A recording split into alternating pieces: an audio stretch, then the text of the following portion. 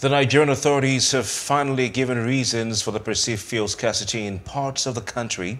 What are they saying and what should Nigerians make of it? Also, university lecturers in Nigeria are threatening to go on strike again as they say the federal government has refused to honor its agreement with them. We'll take a look at this situation with an education expert. We also have analysis of the headlines uh, in today's national dailies. These and more ahead on The Breakfast.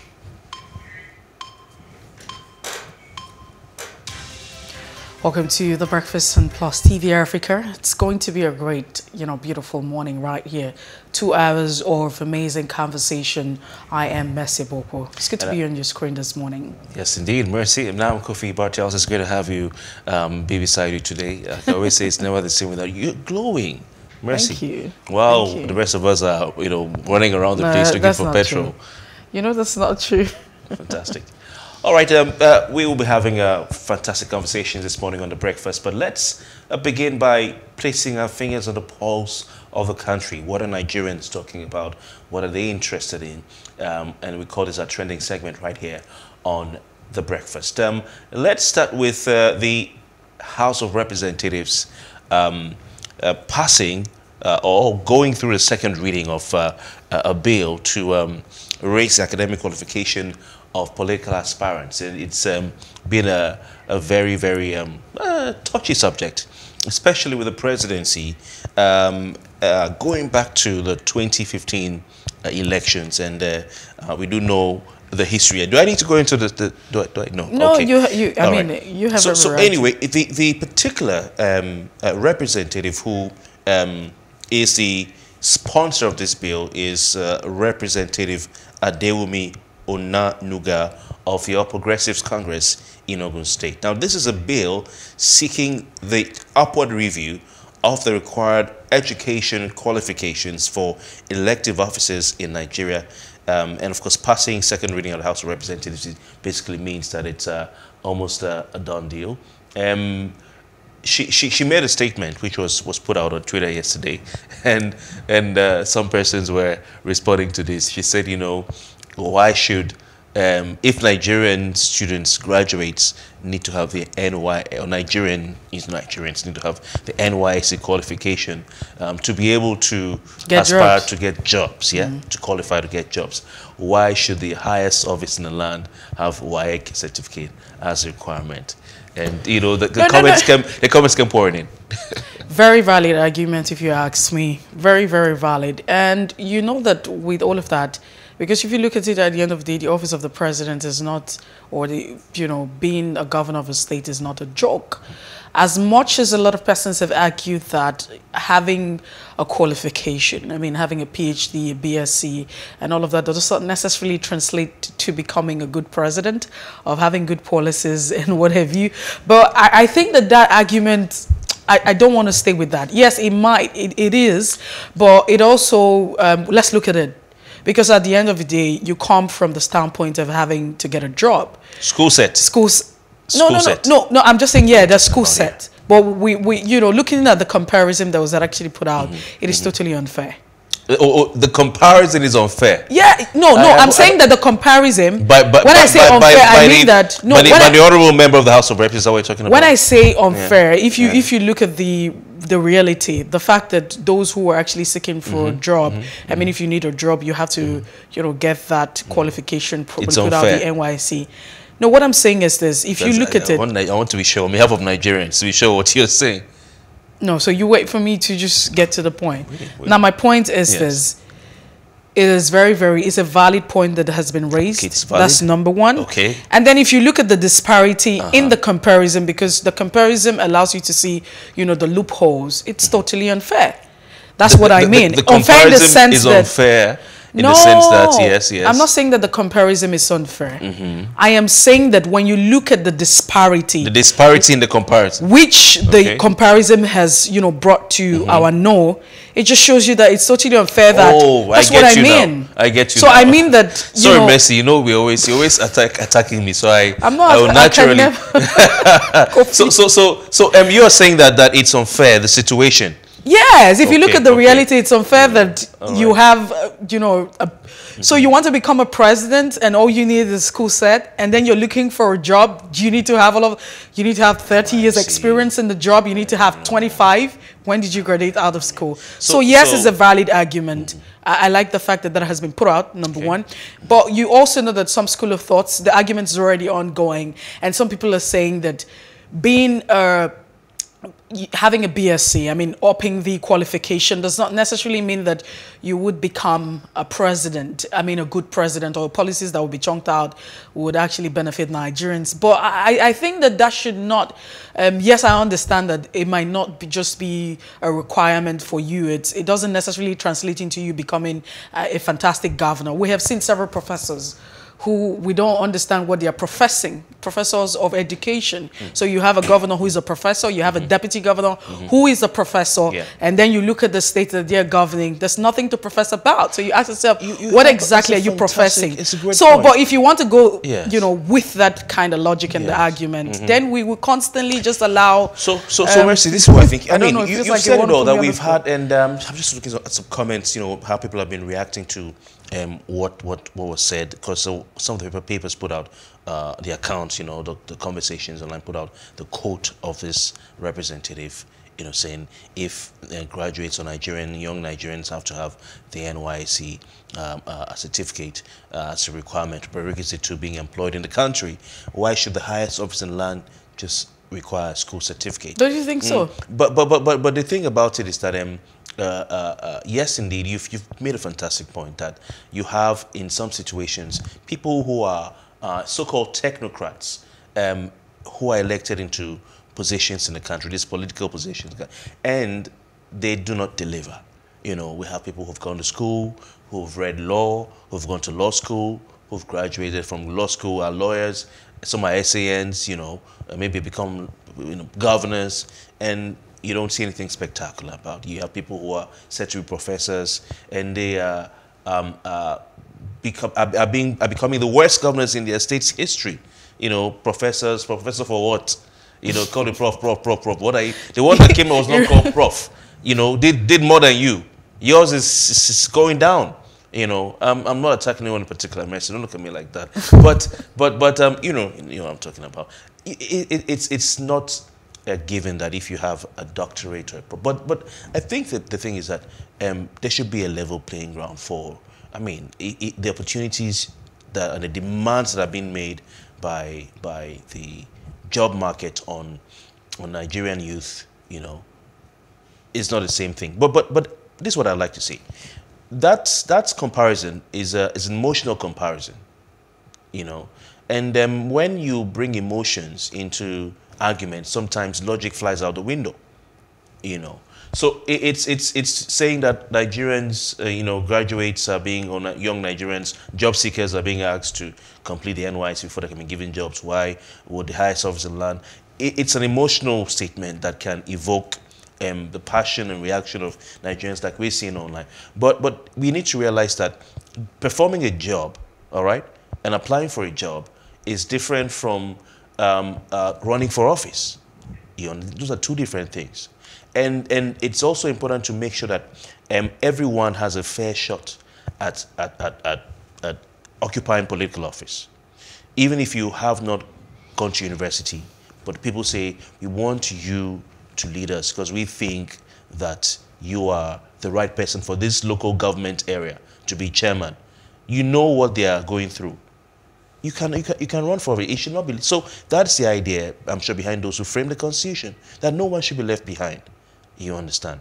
And and of course, if you are there as a school set holder, who says you can't have advisors with PhDs and those uh, professorships and all that? You know, so uh, this this is an emotional argument that may threaten to throw logic out the window. Let's move on. We have more training topics to look at. Mercy.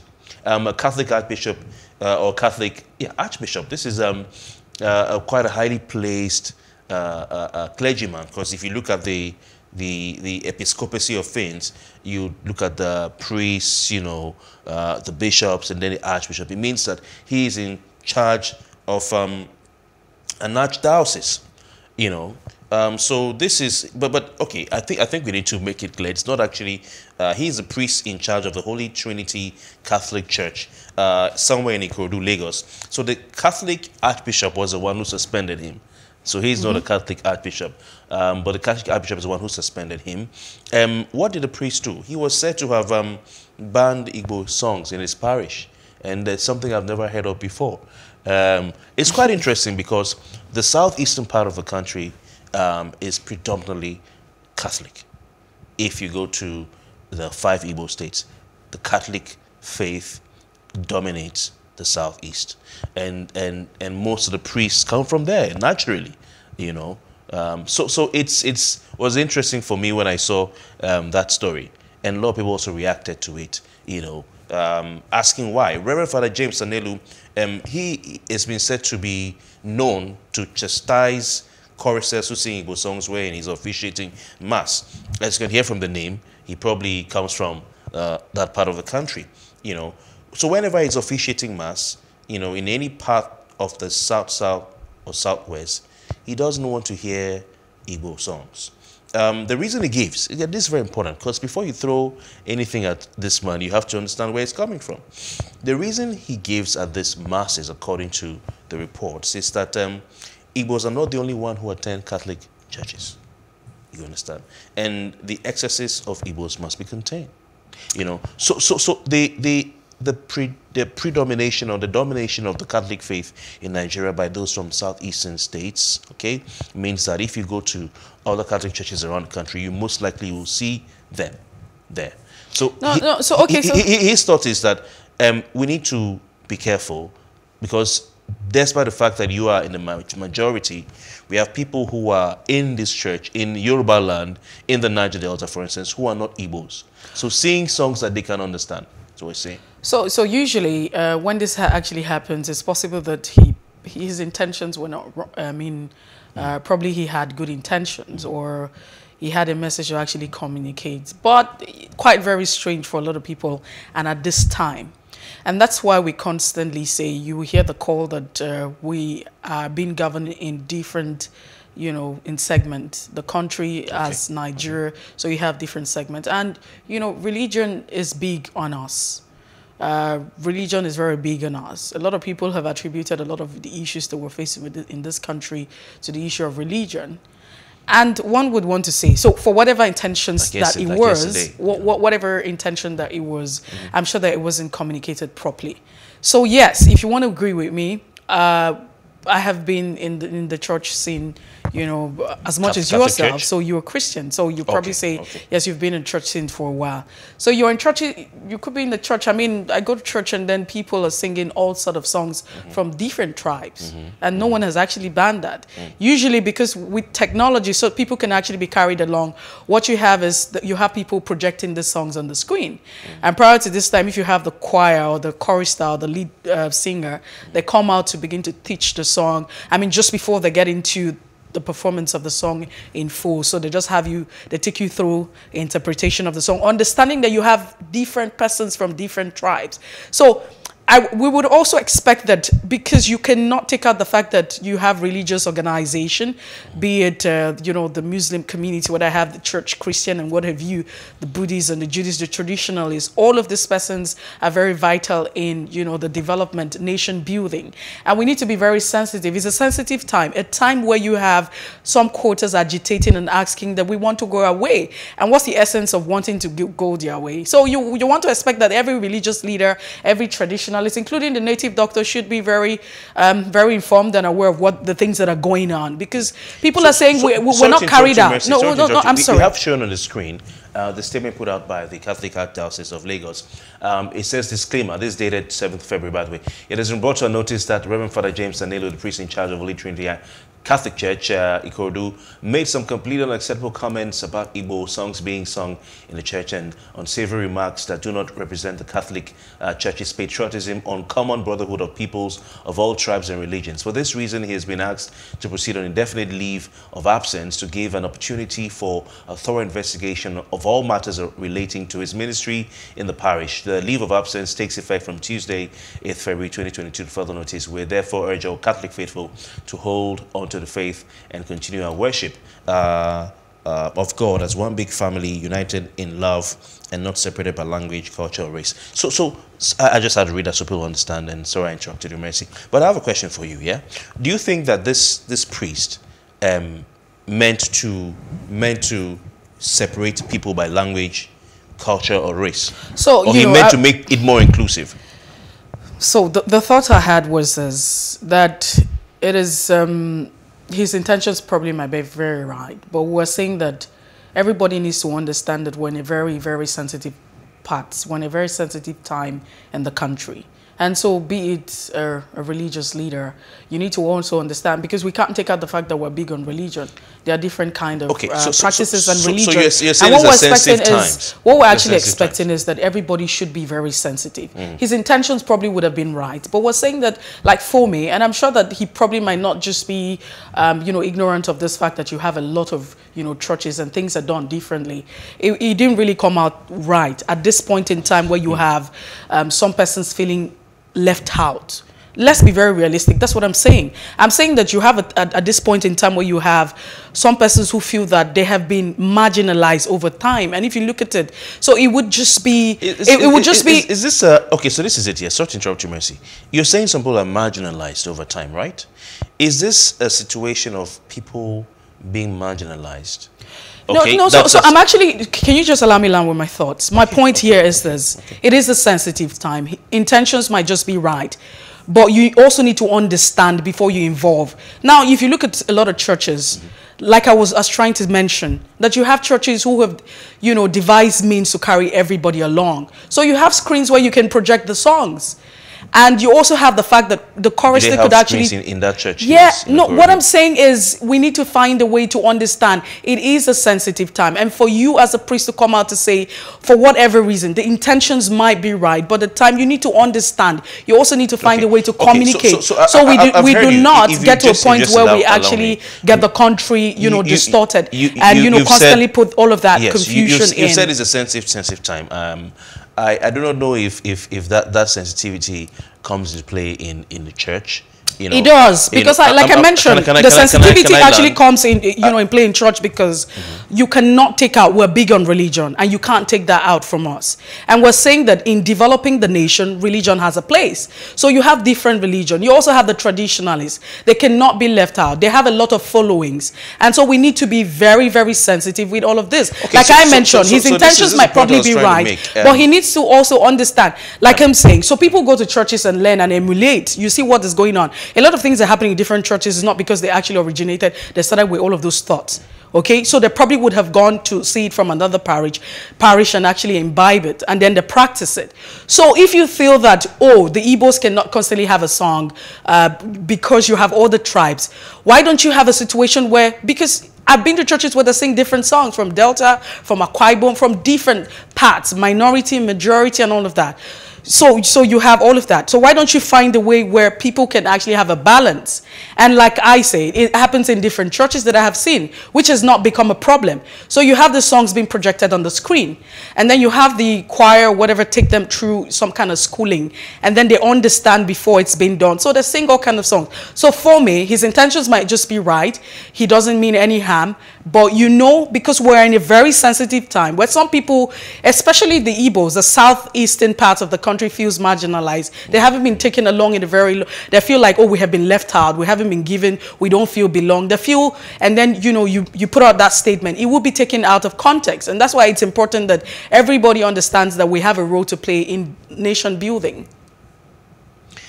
Fantastic. Uh, uh, uh yesterday we had a guest on the uh, um, on the program, and uh, she, uh, Christine Umo um, who who said that the um, she tried to get her books. You know, she's an author of a book on decadence in Nigerian society, tried to get the books into the country. And she said she also attached um, two phones to copies of the book she was sending to Nigeria from, uh, uh, from Canada. And um, she claimed that uh, the National Drug Law Enforcement Agency had confiscated the phones um, and she tried to get to find out why the phones were confiscated. And the claims or claim was that they um, were trying to use that to get money from her. And of course, as um, a responsible and um, progressive, proactive uh, media organization, um, Plus TV Africa went to, you know, to the NDLEA to find out what happened. But we'll play a clip and uh, just watch this, and when we come back, we'll talk some more. Brought to the NDLEA office today by the DHL. This can be cross-checked. This thing, I mean, of, I mean, it's um, in, in this age and time of technology, she should be able to track where her consignment is. And unfortunately, what she was what she was saying on here, which is also very ridiculous and unfortunate, she was making an allegation that she herself has no, I mean, has not been able to establish. She was saying that um, they said that even in, even in your broadcast, you also said that um, NDLEA planted drugs in her in her visit. That did not come up. That has that that is never part of the entire transaction. We're just having the first contact with that particular con- uh, that particular consignment today, and that has been processed and released since because I know the process a lot. Quite as I spoke, I mean, as I told um, like I told one of I mean your producer before, quite a number of people when they don't get their um, consignments released within 28 hours, I mean within 24 hours or 48 hours, they start putting pressure on NDLEA, not even knowing that the agency itself is yet to have to see the particular consignment. I have treated a number of cases like this. So people should learn to actually find out information, cross-check before they come on here to make um, spurious allegations. Okay, sir. In this particular case, there is no truth in it at all. The process is this. This thing came through a courier service.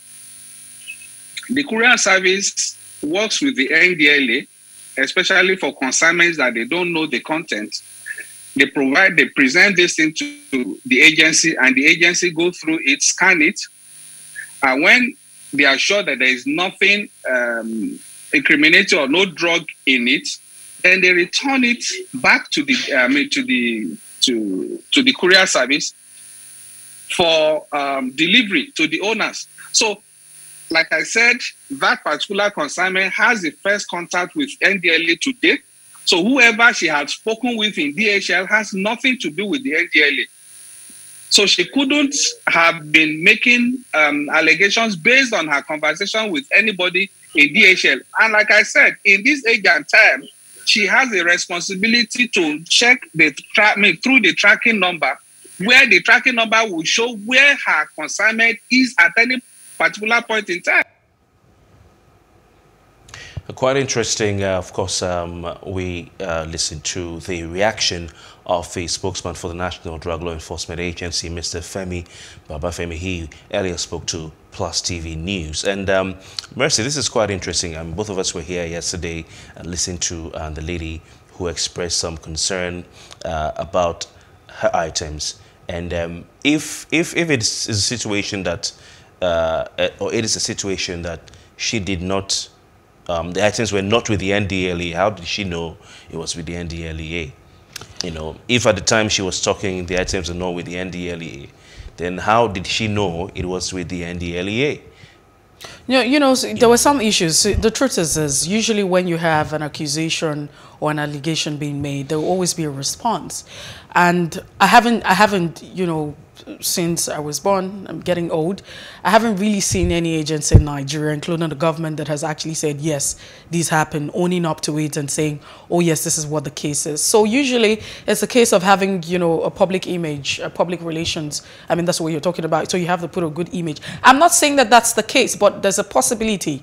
I mean, so we're looking at the fact that, yes, an accusation was made. Should there be a response? Yes, there should be a response. What should be it? Uh, so anything can hap actually happen, especially when you're not there to, you know, verify all of the issues that were raised from both parties. So yes, it's a good thing that uh, the NDLEA has actually responded, and uh, we know what it says. The, one of the things that uh, was mentioned is the fact that there are processes. Now, don't forget the time that was also mentioned in the course of all of this. She mentioned, you know, a time saying, yes, I sent this out at a particular time, and I've been told that it's in the custody of the NDLEA. Uh, that's because I've been also told that I need to sort them out before it can be given out. So, um, you know, it is what it is. You have to have a response. You have to have a case and somebody has to respond. Whether or not um, the, the, truth now depends on who finds out exactly what the truth is. Interesting. I, I, mean, the, the, the agency is simply doing its job. You know, if, if it's a case of uh, um, the phones or the items, the consignment going into Nigeria, and they've been here for maybe 48 hours, you know, um, if, if there's nothing to, to, to be concerned about or there's nothing incriminating in them, and I think um, uh, Mrs. Umar Kereka um, doesn't have anything to fear. Uh, the agencies of government must be allowed to do their job. Uh, we know that people import, you know, vehicles into this country. We've had reports, you know, it's on record. People import vehicles into this country, and in those vehicles um, are concealed drugs, hard drugs, cocaine and stuff. Uh, people import vehicles into this country, and in those vehicles are concealed weapons, high caliber weapons. It's on record.